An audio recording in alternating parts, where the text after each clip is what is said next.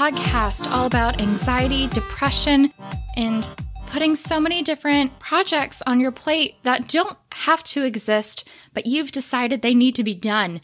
And hey, why not have three major things happen within a singular month and give yourself your own deadline to cause your own stress? Because you know what? I am sick of having external stress. Let me at least make my own.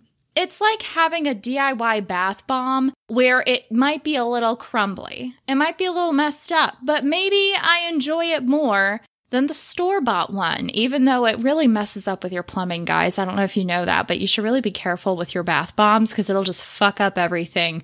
You'll do that thing where you're taking a shower and you just suddenly have a foot deep pool beneath you. And I'm not saying that's me. Uh, you know, COVID's made things really interesting with maintenance requests in my complex. They said they only want to do uh, emergency requests, which I totally get. Um, I'm not sure if it's actually true, but I have some things that need to be done, like getting my air filters changed, which I haven't done since I've lived here, and we're approaching the third year mark, and I realized I'd forgotten to ever do that. So it's like things like that where I need them to come in and do it, but now I'm afraid to ask because what if I'm that person who's like, this is an emergency? Uh, but I think air filters actually are a safety. Ha- anyway, who cares? This isn't about that. And you know, whatever, uh, burn the house down. Woohoo. Anyway, I'm here. Why am I here? That's a great question. Um, I'm worried for my sanity because lately I've been kind of, what's the word? I've had an oatmeal brain, uh, where I'm just mushy and maybe there's some nutrients in there, but it's not vibrant. It is not bouncing. I am not uh, fully functioning. The hamster wheel, uh, my hamster has had too many donuts and is just struggling, struggling to put one foot in front of the other. Uh, so I, I'm not firing on all cylinders right now, guys. And I think it's because I've just stopped having movement in my life physically and metaphorically, I guess, mindfully, uh, I'm just not as stimulated. I have been, you know, reading a lot of like beach reads and I highly enjoy that. It's been very relaxing. I'm quite stressed these days. And so, not having to pick apart a book or anything, I think is wonderful. And I think that we should not be as snooty in all of literature necessary because, sure, maybe there isn't some deeper meaning to the girl who once worked for a big corporate job, but something goes horribly wrong and she has to go home. But look, it's her high school love who's all cranky for mysterious reasons and a complete asshole, but we fall in love with him. You know, maybe there's not like a real deep meaning there, but I think those books have a, their own place and they know what they're supposed to do and it's supposed to take my mind off of shit and I don't have to deep dive into thinking about anything. That being said, though, I've done that for a hot second. I am now just like constantly watching the same TV shows Basically, I'm not having a lot of new brain fodder to really inspire me or do anything. I've kept myself in this little cesspool, the shower, if you will, with the clogged drain.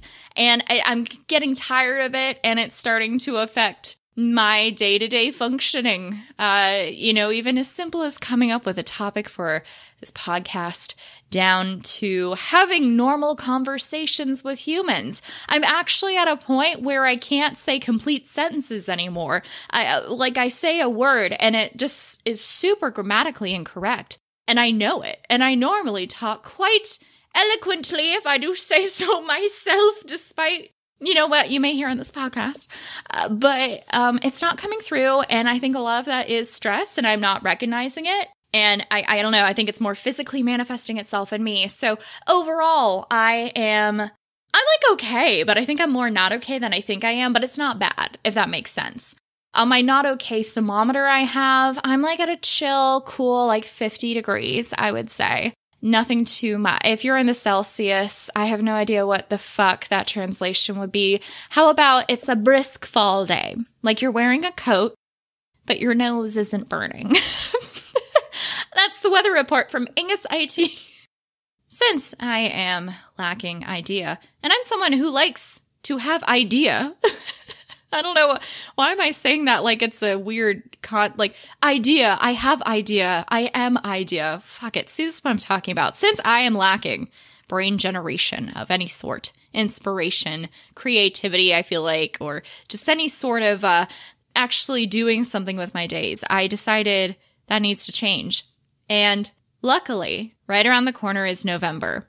And every November for the past four years, I always get it wrong however many times I've done this, but let's just go with four for now. Maybe it's five. We'll see. I participate in National Novel Writing Month, NaNoWriMo.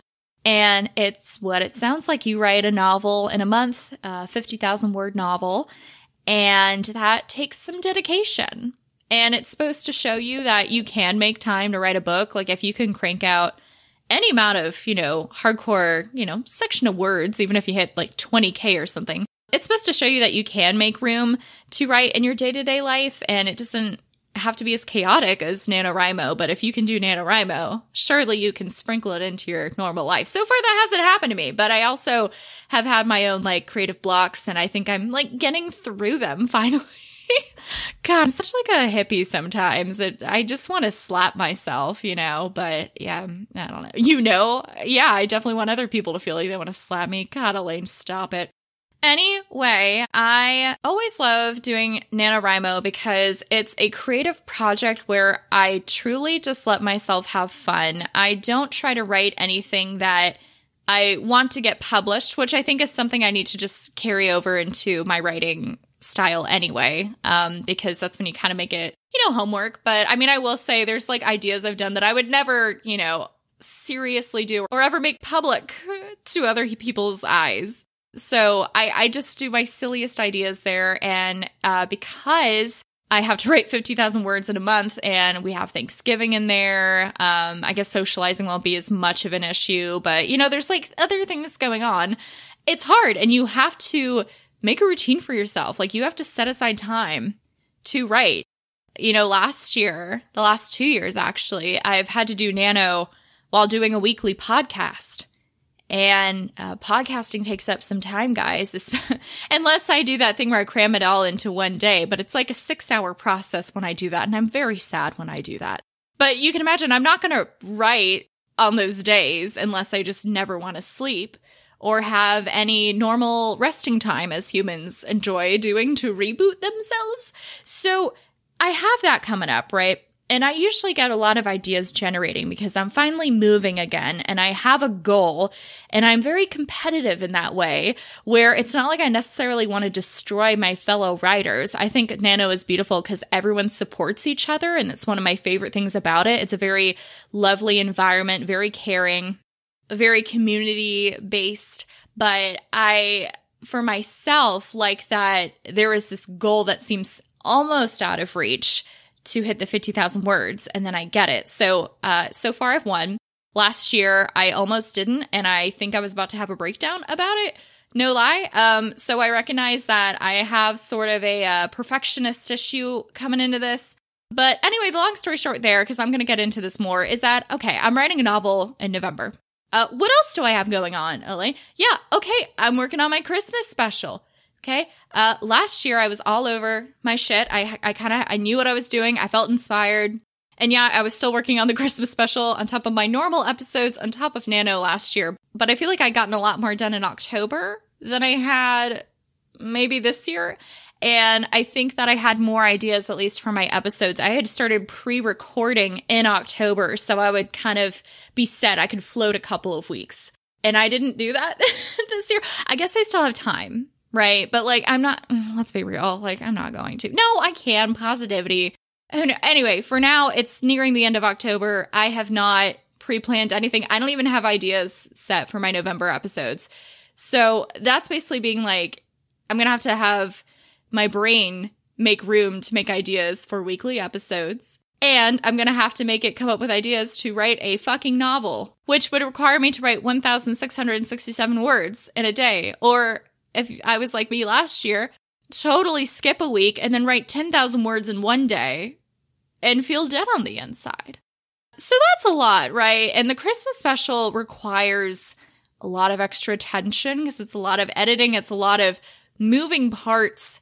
And I don't even know what I want to write. I thought I had an idea, and then I sat down with myself and I was like, I have been unable to write this idea for three weeks now. And it's a beautiful idea, but maybe it's not meant for this medium. Maybe I need to write it out instead of have it be in uh, an audio special. So I came to that conclusion, which was pretty hard because it meant I had to start back at square one Uh, but I think I have a new idea now, and it is very uh, silly and stupid. So I think that's perfect, right? Uh, so I feel inspired by that. But I'm now going to have to write a script, a script with many other people, write a book, and do daily episodes. Not daily. Oh my God, weekly episodes. Okay. To top it off, and this is going to be highly annoying for you, and I'm sorry, but I, and I'm not going to get into it. But you need to know that I have a mystery life project going on that is also highly consuming. And it takes up a lot of my day just thinking about it. And then I try to do it and I get stressed and frustrated doing it. And so it's just a lot. The Mystery Life Project is also just looming over me uh, uh, while I do all of this.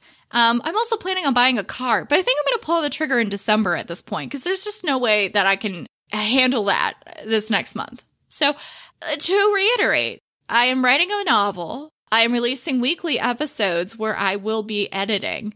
I am also working on a script and managing voice talent and editing, a Christmas special, and I have a mystery life project. and I figured, wow, that's a lot. That's a lot. And I, I've had a lot on my plate before, but it's been a while. And I thought it might be helpful, mostly for me, but sure, for you too for me to go through my list of things I'm going to do to make sure that I maintain my sanity throughout this creative month. Essentially, how am I going to funnel my creative energy into multiple projects? How am I not going to burn out? And how do I make sure I don't make this harder on myself than it needs to be? So, if you are entering a creative month, or maybe you're in the middle of juggling a million different things, maybe it's not even creative projects, you just have like house renovations and maybe you have a human you take care of. I'm not sure. But, you know, it just, I think maybe this might be helpful for you to hear what I'm doing. And if you think it's awful, then don't do what I'm doing. Um, learn from my mistakes that maybe I don't foresee, but you do maybe you can tell me. I don't know. Or, you know what? It's fun to watch people crash and burn. So just let it happen. It's up to you.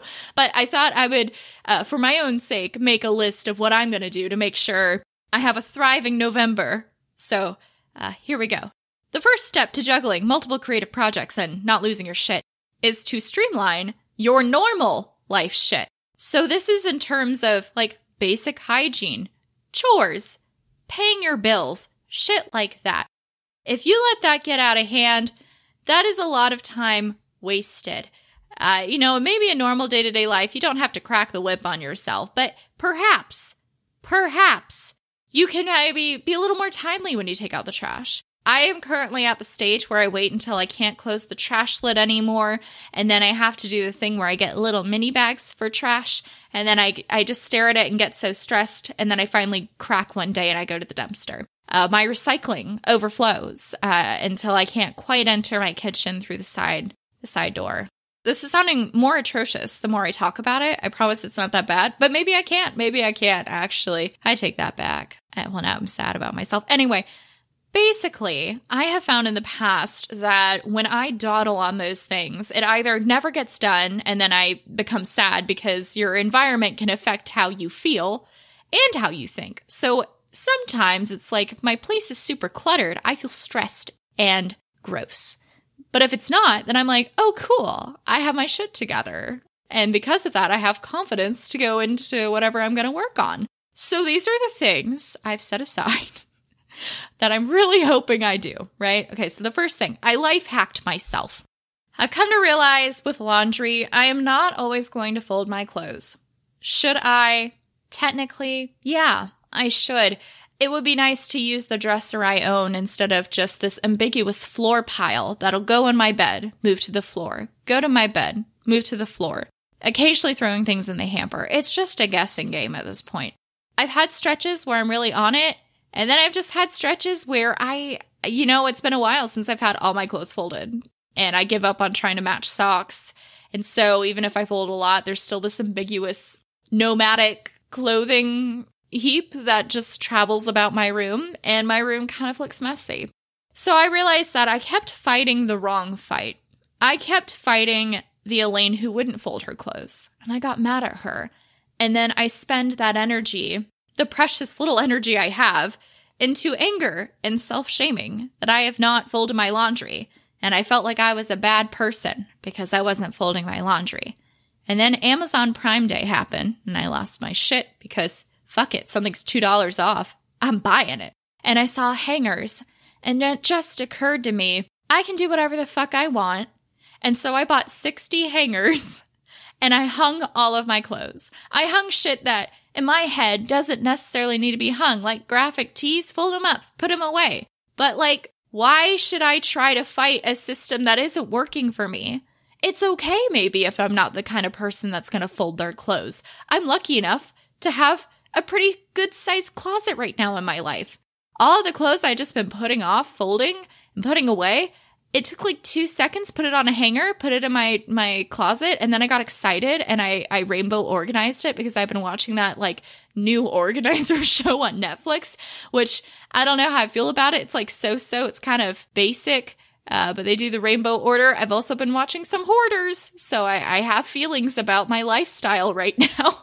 But mostly, I'm just like shocked and ecstatic that I have hangers and I was able to do basically all my laundry. I still have this tiny little pile left, but it's all done and it's organized and I can see everything. I haven't been able to see all of my clothes in so long, which here's the the beautiful thing. That's going to have effects on everything else. Because I'm going to be able to see my clothes, I'll be able to get dressed faster in the morning. I won't feel as rushed. I won't feel like I'm behind already in the day, and then I think that just trickles into everything else. So I don't start my day with uh, stress and as much decision fatigue. So that's a great example of like just a little thing to get my shit together.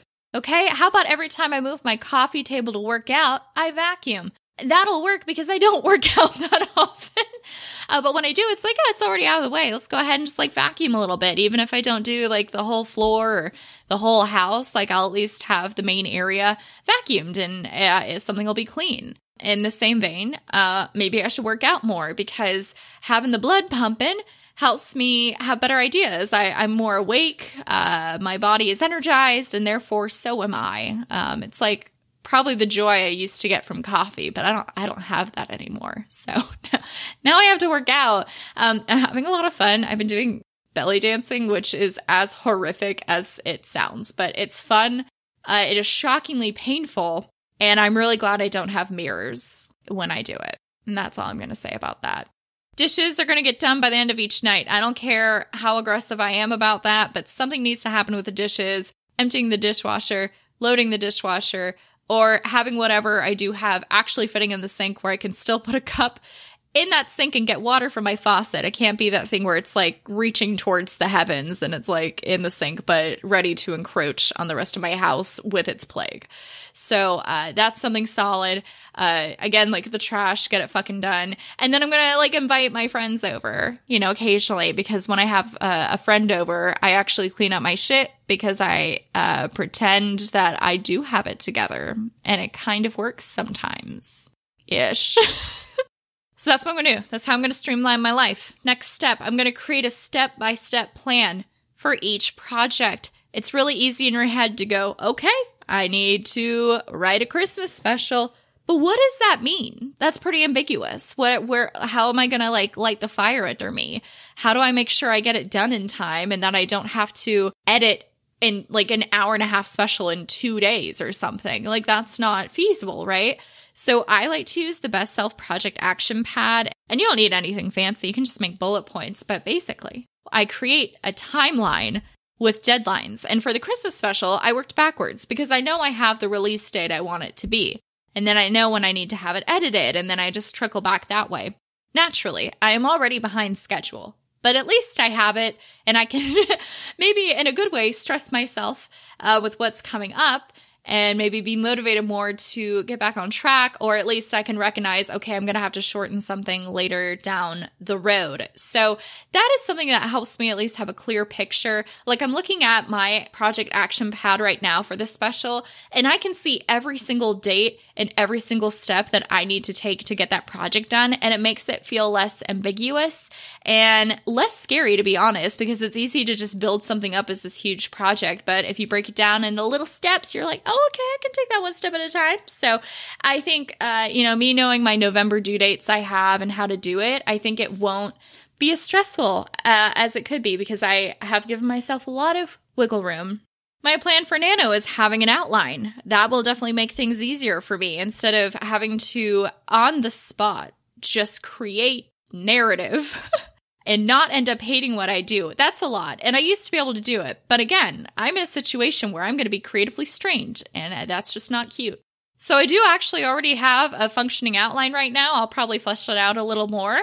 And I think that'll just make me enjoy the writing experience even more because I won't be uh, doing that thing where I just stare at the blinking cursor before I go to write and just be like, I'm wasting so much time thinking. Um, not that there's anything wrong with that, but I just, I'm, maybe I'm wrongly assuming this, but I am just thinking I'm going to be highly frustrated if I do that. So I'm making sure I do that. And I also want to be a little more consistent with my writing, even if I don't hit the 1,667 words exactly each day. I'd rather not do the thing where I take a week off and then write 10,000 words in a day. Like last year, I finished the remaining 20,000 words basically in three days, spaced out with weeks of doing nothing. I'd rather at least have like 300 words here and there than do nothing. And I think, you know, I'm still happy. I still had fun doing Nano last year, but it kind of took away the uh the joy. It's like I did Nano in the span of like 2 weeks spaced out. So it wasn't this constant process. It was just it reminded me of uh, doing a college paper the night before.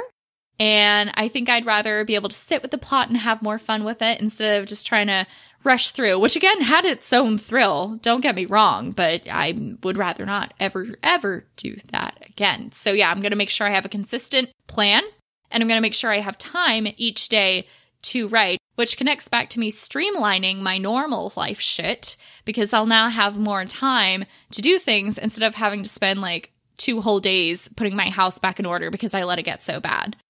For uh, my episodes, I need to have an idea before November happens so I have some of my life together. Like, I need to at least either record earlier in the week, like if I recorded on Thursdays and then try to edit at least starting on a Sunday, that would already give me so much more time than I give myself now. Um, I'm really proud. I'm recording this on a Monday. Like, go me. It's not the Tuesday.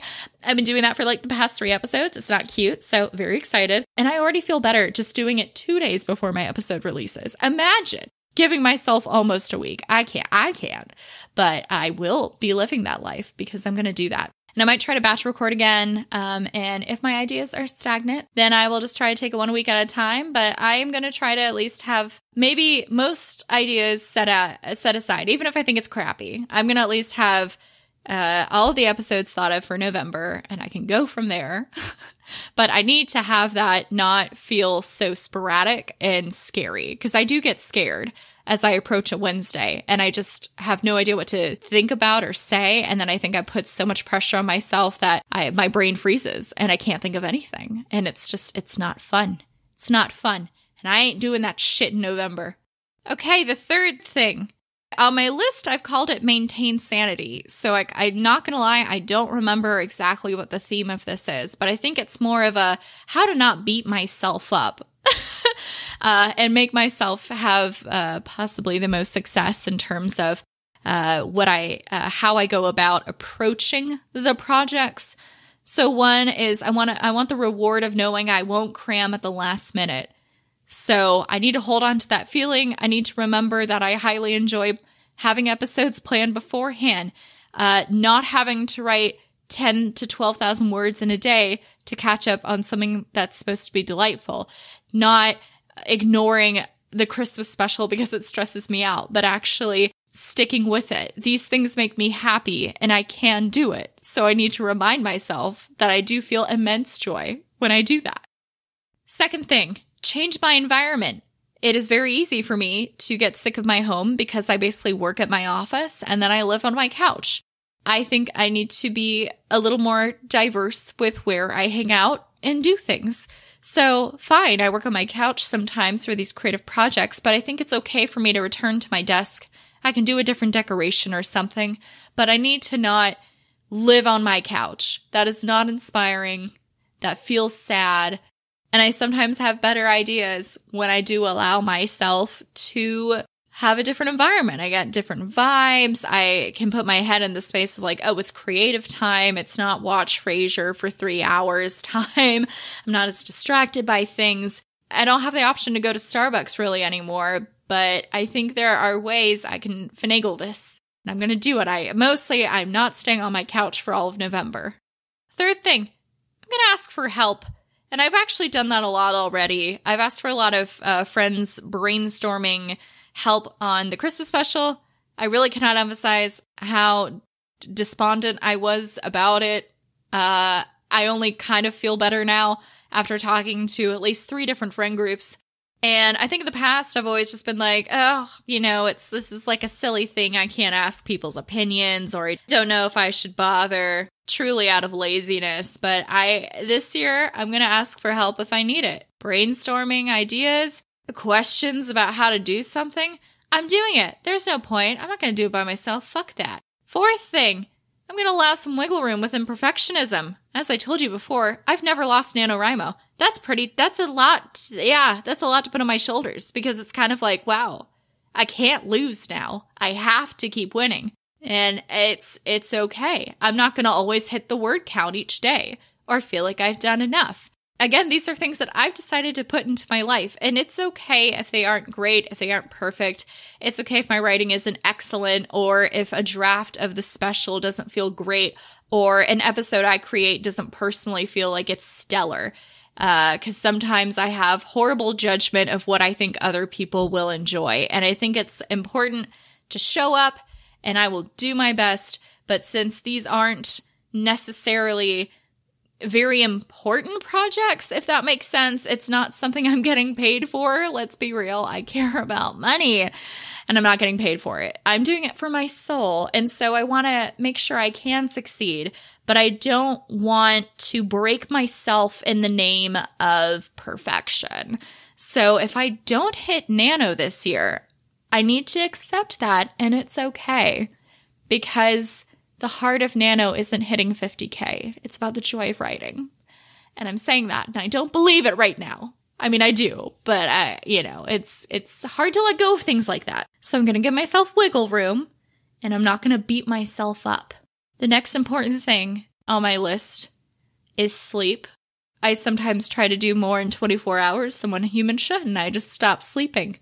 I'm someone who needs to sleep. I'm heavily affected by sleep. I get more anxious get more in my head. I think that's when burnout can really start to happen. Again, my hamster's already sad with donuts. Uh, if I don't get sleep, that hamster's going to turn to whiskey, vodka. It's going to be a drunk, tired hamster. I can't function with that. So, sleeping, I'm going to make that a priority. I'm going to have set bedtimes ish.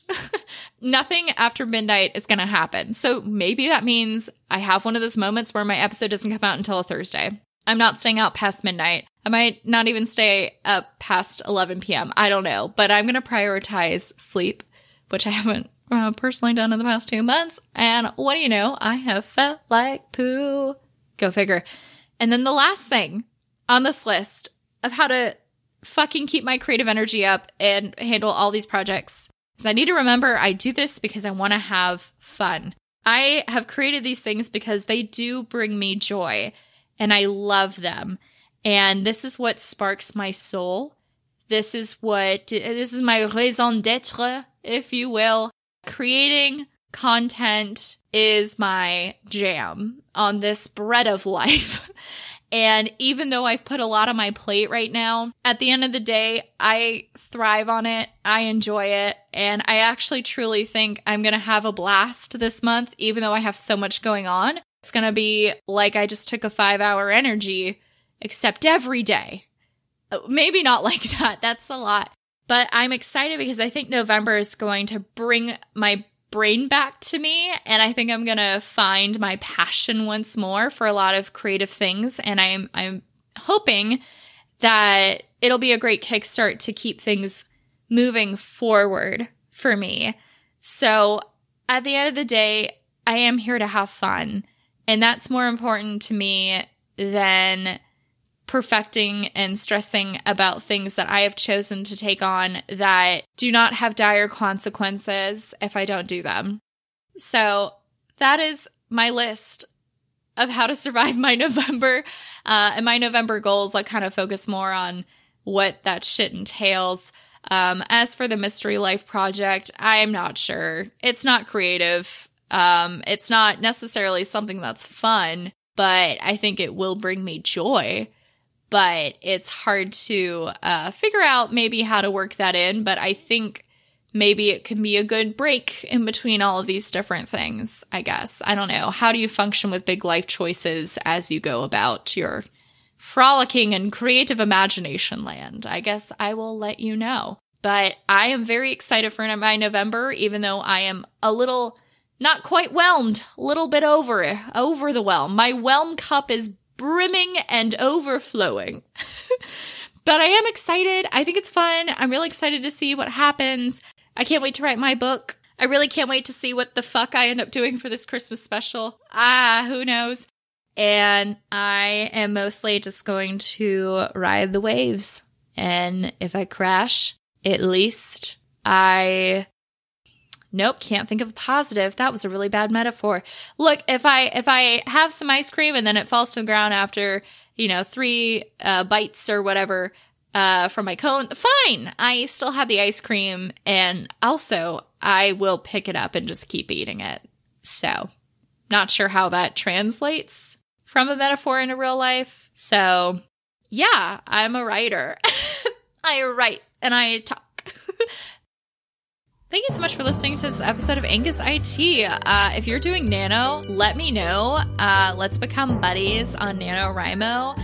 And uh, you're definitely going to hear a lot of me on Twitter. Twitter's normally where I turn to for my nano woes and wins and insanity mostly. So uh, if you want to, follow me on Twitter at AngusIT. That's Angus like the cow, I like the body part, and T like the drink. That's also the handle for my Instagram where I post a lot of stories. It's almost like free bonus content in a way. It's a live demonstration of the shit show of my life. If you want more details, you can go to www.angusit.com. That is where I post my show notes. God, I think that's all I have. My hipster witch line is out at Teespring teespring.com slash stores slash Angus hyphen, what's the name of my podcast? Angus hyphen I hyphen T. Oh my God. Did I literally forget the name of my podcast? Fuck me. Anyway, that's there. So I hope that you uh, suddenly wake up and you're in a musical and that's not like hell on earth for you. That's something you're excited about and you have a lot of big numbers and it's really cool. And then you uh, go to sleep and you wake up and you're like, did that really happen? And then it did. And then it's November 1st and you're like, I'm going to write a book about how I was in a musical. And it, it's probably going to suck. Let's be real. But you know what? I'm happy uh, for that journey for you. I'm happy that that's your journey. Uh, and with that, this needs to end. so I will talk to you next Wednesday. Bye, heifers.